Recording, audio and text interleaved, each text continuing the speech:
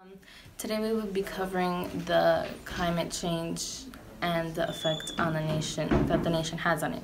So recently the US has been following the footsteps of Russia and Russia has been reluctant to consider the consequences of the climate change due to industrialism.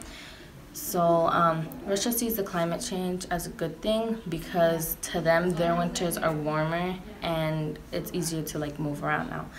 And President Trump has now decided to revoke the agreement with the UN about climate change, and clim climate change is evident everywhere, and people are freaking out and wondering what the outcome in the future will be due to these decisions.